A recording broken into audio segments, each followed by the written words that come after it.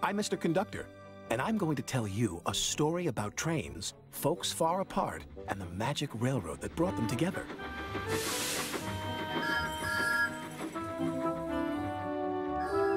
Every story, like a railroad, has its heroes. Meet Thomas. He's our number one hero. Hello! But he's running a little late today.